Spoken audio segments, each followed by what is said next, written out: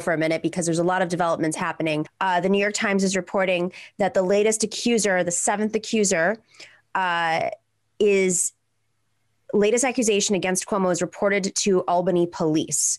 And I'm quoting the New, York Times right now. Albany police uh, department officials said on Thursday that they had been notified by the New York State Police and the governor's office about an alleged incident at the executive man- mansion involving Governor Cuomo and a female aide that may have risen to the level of crime, which uh, I believe has to do with forcible touching um, forced touching. It was Albany police officials said they heard from the state police on Wednesday night after the publication of an article in the Times Union of Albany that detailed allega- accusations leveled by an unidentified aide to the governor who accused Mr. Uh, Cuomo of groping her at the governor's mansion where he lives last year. Um, you know, this is multidimensional. So I, I want to be as clear headed as possible about this because there is real malfeasance with the nursing home scandal in the fact that they covered up the act what they knew deemed to be the accurate number of deaths or the most accurate number of deaths uh, that happened at nursing home and elder care, elder care facilities in New York State, possibly, possibly influenced by hospitals um, who are pushing because they wanted to remove the COVID patients and put them somewhere else because they were over overbooked. Um, you know, but there was an actual cover up there, and that's I think which the crime isn't as as bad as the cover up is because you know you think back New York through COVID, uh, the beginning, how these these hospitals were overrun. Um, they had they, they didn't have enough support, and there was confusion and chaos. So you know, if the number of deaths had been reported accurately, it would have been an extraordinary tragedy and Governor Cuomo would have had to deal with it. It wouldn't have looked good. But now it shows that he was perfectly conscious of it and more concerned with his political ratings or whatever else, uh, or possibly his some lobbyists that have uh, supported him in the past. We don't know for sure. There's an investigation underway, uh, two investigations underway, actually multiple. I mean, we now know that um, the feds are looking into it as well, but uh, that has to do with a cover up right? These are now seven women who have come forward at a moment where, you know, these are primarily, with exception to I think one person, yes, uh, primarily all people who've worked under Governor Cuomo in his office, in the administration. So it's not just that he has these allegations against him, and many of them are fairly recent. Um, it's that these are all people who worked for him. And if you know anything about Cuomo, Cuomo's administration, uh, big part of this is about loyalty. He he has a circle around him. Uh, he uses fear tactics to keep people loyal to him, uh, and and as a result, you know, he's been fairly protected. The the Albany the Albany press isn't always the toughest on him. Uh, neither is the New York City press, which has been extremely weakened. Um, they report on the day to day, you know, and and big stories have happened where they have reported on them, uh, like the corruption scandal involving the Buffalo Billion, which ended up leaving his his closest aide in prison um, and uh, a large donor as well. So, you know, but this is all part of the New York ecosystem. For folks who aren't aware, and, and I didn't really touch on this too much yesterday when we did our Cuomo story, um, in the last decade, in the last decade alone, you have seen the longtime Speaker of the Assembly, uh, I believe he's sentenced at this point. I know he's been back and forth legally. Uh, Shelley Silver for for corruption, for pay to play. Uh, the former Speaker of of the Senate, uh, Dean Skelos, the leader of the Senate. Um, is now in j- jail. Malcolm Smith, former Senate leader, in jail, Democrat. Uh, Skelos is Republican. Um, you have uh, the previous controllers, this is like a little bit over a decade ago, Alan Hevesi, uh, in jail. Uh, I mean, this is not to mention uh, the governors that have have cycled through, whether it's Spitzer having to step down, and then, I mean, it's just it's it's been, and then there are pl- plenty of other senators as well that have, have ended up in a lot of trouble, uh, whether in jail or had to pay fines or had to step down. Um, this is the culture of Albany. It's always been very protected, and you had these leaders there for a long time using fear, using power mechanisms to prevent uh, deep analysis and reporting and accountability. Uh, and now I, I think because of those, because of that movement, is paved a way for a progressive movement, which is demanded, uh, which has challenged really bad actors like the IDC, that the Democrats were caucusing the Republicans in New York. That was uh, devised by Andrew Cuomo. But they have um, the progressive movement that has challenged them and has gotten elected has been able to put more pressure on Cuomo in a way that maybe if this had happened six, seven, eight years ago, when the other players were still in control, there would have been some sort of power deal. You know, we won't touch it if you don't touch our stuff. And that that's politics. In fact, that's actually how Andrew Cuomo seems he's trying to get out of this. He's trying to basically use the budget, it seems, because they're in budget, this is budget time in, in Albany. Um, he's trying to use the budget as leverage for them not to go after him or call for him to resign. But as of right now, I'm I'm looking at the latest. I believe there's how many people have now said that that he should resign? I think we have a, a tweet by Akela Lacy, uh, who's a reporter at The Intercept who comes on our show regularly. There are 55 New York State legislators that have called on Governor Cuomo to resign. Um, that includes the, the, the leaders of uh, the Senate, Andrea Stewart Cousins, and Carl Heastie, who's the Assembly leader, uh, Speaker. So this is um, Dick Gottfried, who's who is a, a, senator. He's the longest serving lawmaker in New York State. Um, this is no joke.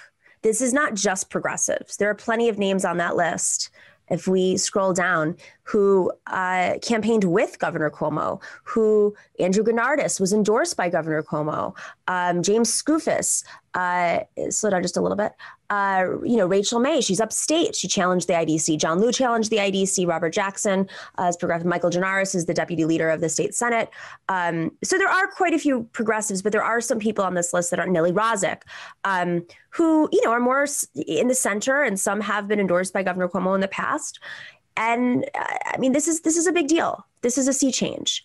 And so what's going to happen is, you know, if he has to step down, we don't know if he will. I think I think my guess is is that the political pressure is growing so much that um, you may see somebody like a Hillary Clinton speak up, and uh, you may may start with with Kirsten Gillibrand, the senator, and then go to Hillary Clinton, um, and then possibly Senator Schumer, and then the last shoe to drop will be President Biden. If it gets to that circle, that's where I think Andrew Cuomo's budget game, which I didn't finish that, uh, will will that strategy will not work. So what he's trying to do right now is use the power of the purse strings and say, you know, we'll pass a billionaire's tax, which is something progressive movement has been pushing for, uh, if you lay off me. But they're not laying off. More names are coming out, and maybe that's because they think Kathy Hochul, uh, who who is the lieutenant governor, might pass the billionaire's tax. I mean, this is also really complicated because if he does step down, uh, he has to step down in the middle of a budget negotiation process. I don't know how that works. Um, if he's impeached, which Carl Heastie and the Assembly has already said that they're putting together the plans for that, organizing what that would look like. I believe there's only been one impeachment in New York history um, of a governor. It's not looking good for Governor Cuomo right now. He is up against the wall, and uh, you know, there's a reason why you don't make a lot of enemies. power only works so far, right? Um, so it, it's hubris. I mean, there's just so much here, and and and just a little more backstory for folks to know. So he has been, um, who's in a relationship with Sandra Lee, who is the famous uh, TV chef, TV. Uh, I don't know if she's a chef. She, you know, her shows. So they broke up about a year ago, I believe, or maybe a little bit over a year ago, and they were not married. Um, and you know, so this this this is all kind of happening like possibly post Sandra Lee. Uh, you know, who knows what what's going on in his head right now, but it's it's inappropriate behavior. Um, if it does get physical, then this could be criminal. If it if it was indeed with this investigation, uh, and what the woman has said. And the other, other thing that's interesting about this is that all of these staffers, from what I understand, is all of the staffers have come forward and said that they went through like essentially superiors they they complained they went to hr they went to they they moved forward on all of these allegations went through the process that you're supposed to go through and they were ignored even senior staffers, very well known, Karen Hinton, uh, has said that she uh, was treated inappropriately and nothing happened. There were no consequences. This is what happens when you have leaders that are not held accountable externally and internally. When you have toxic work environments, which is they're notorious for, uh, when you use the politics of fear rather the politics of of compassion, understanding, coalitions, ally allyship. Um, this is essentially a product of the old school New York political machine, a lot of the bad habits that really have not died out. And, and you know, and I'm going to be as bold to even say, um, we have it on the progressive side too. You know, the political machine.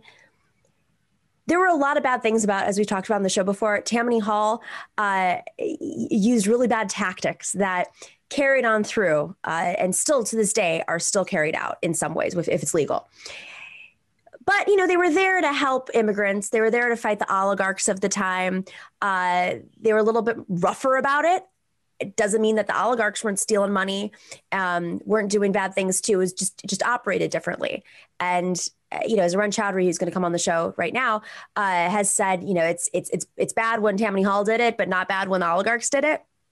But with that being said, when Tammany Hall fell apart eventually uh, after second iteration in the 60s, you know, a lot of these tactics remained. Shelley Silver, who was the assembly speaker, was kind of like the, you know, came up towards the end of Tammany Hall, like his mentors were in Tammany Hall. And so that culture remained, that legacy remained in Albany. Of course, Andrew Cuomo was a product of his father's uh, political machine. And, and even if they did operate differently, um, so you know it's it's we have to be very conscious that even if these people go away sometimes the infrastructure or the culture still exists. And it's wonderful that we're getting more progressives elected but we also have to look at the institutions. There are a lot of institutions in new york that still operate in an old school fear mechanic like, like it's it's it's still dirty. It's still dirty. There's a lot of backroom dealing. There's a lot of of of um, horse trading. I mean, people have asked me to talk about the mayoral race and and ranked choice voting, voting, and I say, you know, there are a lot of really amazing candidates in that race. Um, I'm not sure all of them are even aware that they're being backed, uh, really to to to boost another candidate because ranked choice voting is really complicated. We'll see how it plays out. A really complicated situation. Um, it's the first ranked choice voting a citywide election uh, that New York has ever seen, and that happens at the end of June. So we're going to keep watching this. Uh, we are, you know, there's there's a lot of interesting components to this that we haven't even touched on yet. And I honestly, I don't think this would have happened if the IDC had not been defeated. So. Um, the IDC again were the eight Democrats that were ousted in 2018. And if we did not have more progressives in the Senate, if we did not have Democratic leadership in the Senate willing to step up and speak out, uh, meaning Senate Majority Leader Andrea Stewart Cousins and Deputy Leader uh, Michael Gianaris, If we didn't have that that that that that ground um, that groundswell of of progressive senators, then the other senators wouldn't have come forward, and then that's how the political pressure is applied to people like Senator Gillibrand and Senator Schumer. Um, that's how the political pressure is applied to people like Hillary Clinton, which you know is still important, and uh, and Cuomo's very close, and of course uh, Joe Biden. All right, so we're going to talk more about this because it's not going away, and it's a big story. It's huge, it's huge, huge, huge story.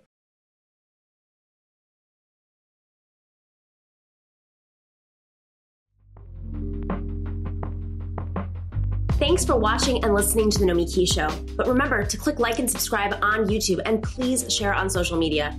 If you're not already a patron, please join us for as low as $5 a month on patreon.com slash The Nomiki Show for early and special content. That investment makes a huge difference. We are not corporate media raking in the dough. It's really you guys that are keeping us going. So please consider being a patron. And to our current patrons, thank you so much. We are incredibly grateful to you. We also now have swag.